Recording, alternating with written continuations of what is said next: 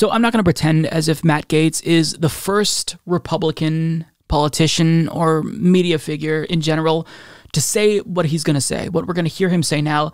But still, it's getting to the point where I don't know how they live with themselves because they're basically just endangering the lives of their own base. And you'd think that they would want their base around to continue voting for them, but nonetheless, let's listen to what he has to say. And then, of course, I think it's going to be pretty apparent why it's stupid. But if not, I'll break it down for you when we come back.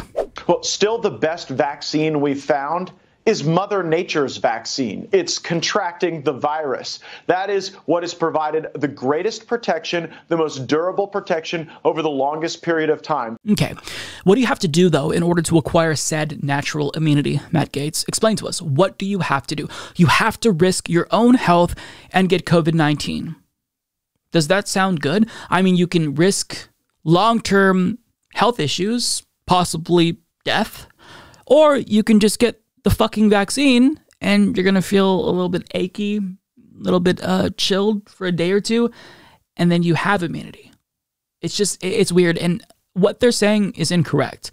Uh, it's natural immunity paired with vaccine immunity that is the strongest in terms of response. I believe this is what uh, a meta analysis released by the CDC in early November concluded. So the data has been out there for a while, but it doesn't it doesn't matter. The conclusion has consistently been from public health experts that getting vaccinated is important regardless if you already have natural immunity. Get vaccinated. But instead, you have people who are truly moronic, like Dennis Prager, who uh, they're going out of their way to contract COVID 19. Like Dennis Prager admitted on camera that he, someone who is probably at risk, but wealthy, so he has access to good therapeutics. He went out of his way to contract COVID 19. He'd get close to people, he'd hug them because he wanted it, because that's how badly he wanted natural immunity. But that's such a stupid thing to do because you can get immunity without risking your life. It's just, I don't know what to say. It's a level of stupidity that is almost unbelievable, yet at the same time contradictory, totally believable for the modern GOP. Now, I mean, Matt Gaetz, even though he said that, he's not an anti vaxxer per se. And given what he's going to say in this article, as stupid as it is, I have to argue that he is probably more reasonable than most conservatives on this issue. So Newsweek's Cami Pedroja explains the representative from Florida said during a tete-a-tete with Georgia Republican Marjorie Taylor Greene on Thursday's episode of his new podcast Firebrand with Matt Gaetz, so that sounds lovely, that he is not a person who criticizes those who choose to take the vaccine. Very, very reasonable. Wow. You know, there are people like my own parents who continued who for them, they're a little older. They've got other complicated medical conditions and it was the smart decision for them and for people in that circumstance where it makes sense. I hope that they avail themselves to the best that modern technology has to offer. Gaetz volunteered his parents' positive vaccination status after angrily refusing to disclose his own vaccination status just last month. Reportedly, when a CNN reporter asked him to comment whether or not he had been given his jabs, Gaetz cut the reporter off, saying, That's very nosy of you, then adding, I think we should be talking more about freeing Britney. Okay. Free Britney then. I mean, that was last month, to be fair, but I mean, nobody disagrees with that. What a weird deflection tactic. Pivot to this thing that basically nobody disagrees with. Yes, we should we should free Britney. I'm glad that she's free. Awesome. Now disclose your status. But he won't. Now, just saying that maybe some people should get vaccinated, believe it or not, is more reasonable than uh, a lot of folks in the GOP because they'll just say, don't get vaccinated because it's poison, it'll give you 5G. So at least he's not playing into that conspiratorial mindset here that much. But let's let's be very clear.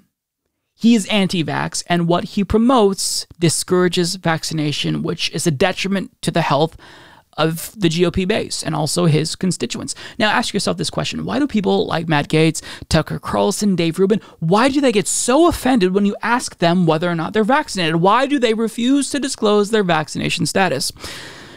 It's almost like they have something to hide, right? It's because they're probably vaccinated. Now, if it is the case that they admit that they're vaccinated after for months, espousing anti vax rhetoric, discouraging vaccinations, that even the GOP's brain dead base might think wait a second, That's a little bit suspicious. Why would he tell me not to take the vaccine, but then he got the vaccine himself? Something's up here. Maybe I should do a little bit more research into this. Maybe I was led astray. And again, I mean, not all GOP voters will come to that conclusion because most of them just gobble up whatever bullshit is sold to them by the Republican Party. But still, I mean, they look like frauds. I mean, I don't find it offensive. Ask me what my vaccination status is. I'm double vaxxed up, got my booster. Yeah, I can share that because I'm not lying to my audience. My audience knows where I stand.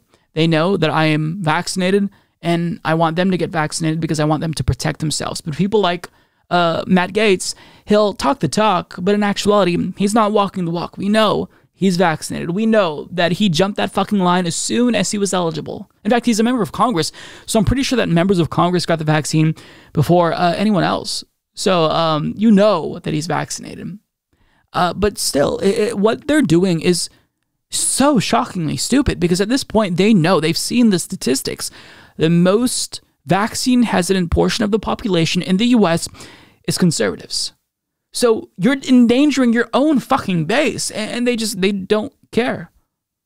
I mean, they shouldn't just care because it's endangering their base, but they should just care because Lives are saved by the vaccine. Hundreds of thousands of lives in 2021 alone were saved because we have these vaccines. So it shouldn't just be, oh, well, I should want to protect people who I align with ideologically. It should just be, I want to protect people and save lives because I'm a good person. Because saving lives is objectively good, regardless if that person is a Republican or a Democrat. Saving lives, good. Taking lives, bad. Unnecessary deaths, bad. But we're dealing with a Republican Party that is so extreme that they're cutting off their own noses to spite their faces. And it's fucking stupid. He's endangering his own base. And if you're a GOP voter and you take these people seriously, you are doing it to your own detriment. Get the fucking vaccine because all the people, or most of the people, I guarantee, who are telling you not to take it, have gotten the vaccine themselves. That should tell you something. It says they're frauds and they're just virtue signaling and they don't actually believe a single fucking word that they're saying. Stop taking these goddamn people seriously, for fuck's sake. When you acting like a